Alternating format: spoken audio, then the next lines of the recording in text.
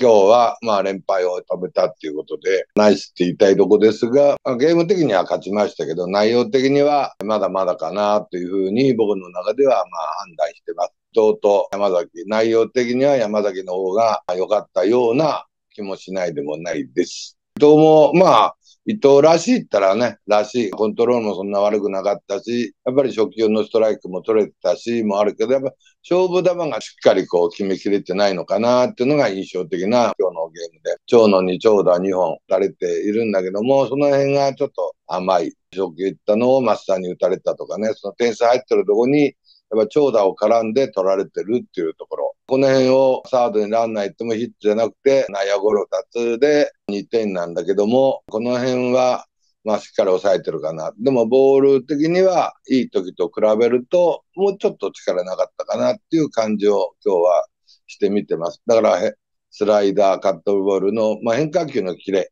がもう一つかなというそんな感じに見えて、まっすぐのコントロールは、まあ、アウトローにしっかり投げれてたっていう印象には見えました。反対に山崎の方は結構、まあ、バットを攻めながら、フォークボールは落ちないでタイムリー打たれたりしてたけども、内容的には阪神のバッターを攻めてたかなという感じに見えた、お互いの先発ピッチャーで合格点であるかなというようなピッチングだと思います。最終的にはやっぱり巨人の後ろのセットアッパーな抑えまでいかなかったけど、この辺の弱さが出たかな。そこに突き込んでフォアボールからが佐藤のヒットで、ノイジーのタイムリーが出たんですけども、この辺がやっぱり今の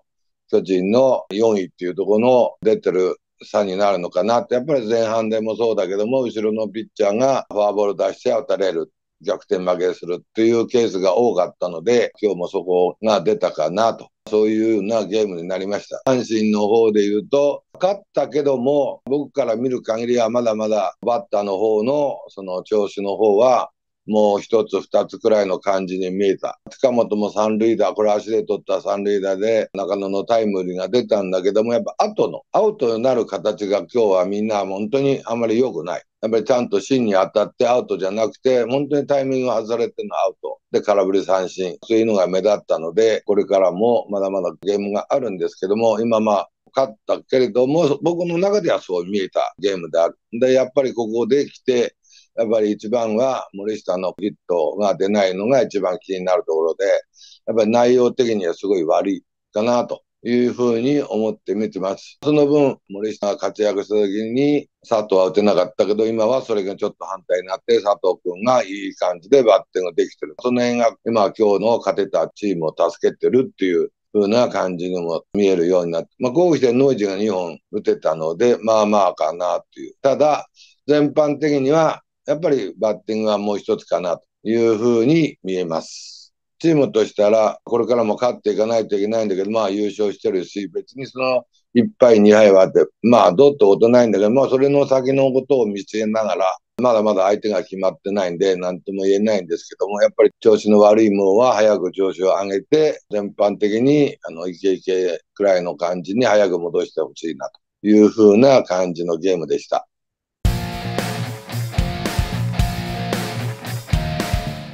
番が出ないと、やっぱり勝利の方はぐんと下がると思う。あの、一番っていうのは、まあ、塁に出る回数が出れるのを一番に置いてる。そういう、まあ、野球になってるんで、最初だけは一番であるけど、あとはアウトによっては3倍になったりするんだけども、やっぱりそれが確率的に塁に出る回数がより高いのを一番にするってそれを3番、4番で返すというのが野球になってるんで、その辺がちょっと塁に出れないと、阪神の方もしんどい野球になるのかなと。今日は、まあ三塁打打ってあれしたけども、それ以外は本当に塁に出なかったら、まあ点数入んないようなところも結構。だから前もいつも言ってるように、そこに3番、4番、5番はバントがないんで、やっぱそういうバッティングできるのは、まあ、大山くらいかなっていう感じにしか見えるので、そうなると、なかなか、まあ、大量点っていうのが少なくなるかなっていう感じもしないでもない。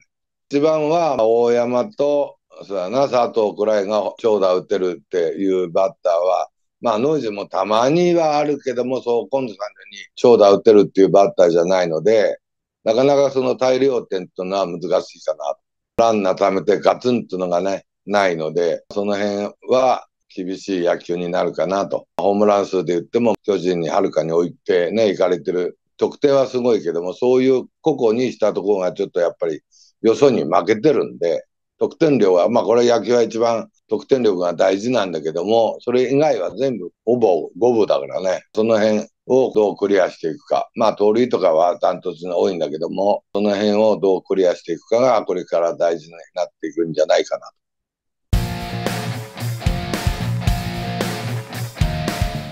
いや、これはやっぱり巨人のそのピッチャーの弱さだよ。それに尽きると思うよ。見る限りは逆転負けとか、早い回のノックアウトとか、そういうのがはっきりしてるんで、その辺が今の巨人かな。去年も勝てない時は誰が打つのくらい、みんなバットの振りも悪かったし、今でもそういうふうに何人か若手は出てるけども、ベテランが多くて、まあ、彼らが活躍してるようじゃなかなか上にはいけないと思うよ。そう頑張ることに越したことないけど、やっぱりこうずっとこう良くないからね。丸にしても一流の丸じゃないし。まあ言っちゃ悪いけど、岡本一人で頑張ってるみたいなもん。40本のホームラン打ってる。あとは、まあ阪神も3割バッターはいないけど、まあ巨人もしっかりだよね。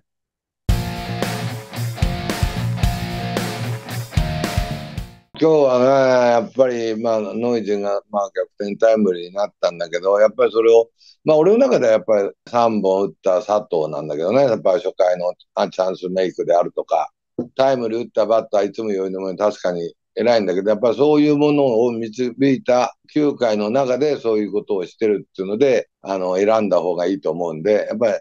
今日は佐藤でいいのかな。まあ、大山が出てツーベース打って2、3塁にして、内野ゴールで1点取ったっていうね。そこまでこうランナー進める。やっチャンスを作って打ったバッターをいつもやってるとそう決まってばっかりいるんで、やっぱそこにこう導いたその3本目のヒットとかが今日の中では良かったかなって。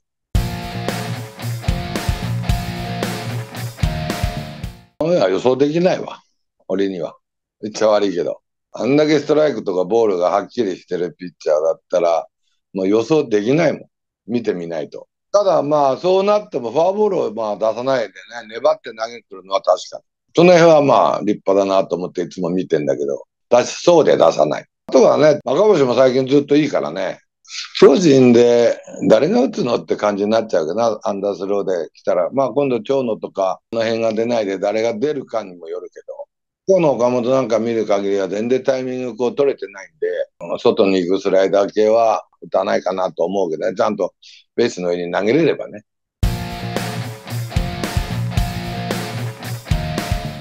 横浜が要は DNA 来たらやっぱり今永とかね、なかなか取って取れないからね。巨人は戸郷がいるけど、やっぱり戸郷もまあいいけども、やっぱりコントロールもアバウトだから、フォークがそんなにこう、ボンボン決まんなかったら、まあ結構真ん中で勝負するピッチャーだから、チャンスはいっぱいあると思う。まあでも今永なんか左で150キロぐらい投げれたらそう打てないからね。うん、東もいるし。その辺考えると、やっぱり巨人が頑張ってくれて、巨人来た方が確率は高いよね。巨人ファンには悪いけど。あ3つの中で広島、横浜、巨人ったら、やっぱり横浜に来られたら一番困ると思うよ。打つにしても投げるにしても。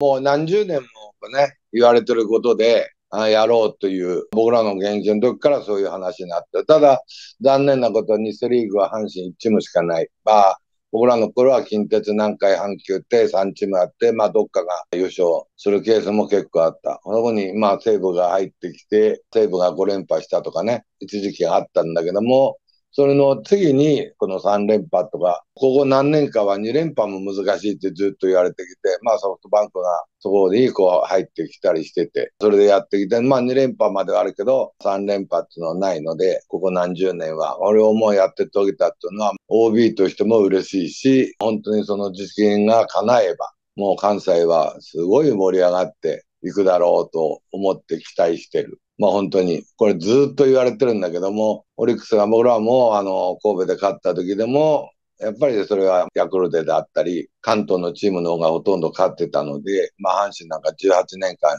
してないわけだったから、もう1チームがしかないからね、18年間だから関西は優勝してないってことなんで、そういう中で今年は可能性が出るのかなって、プロ野球始まって以来の関西同士の日本シリーズ見られるのかなと思って、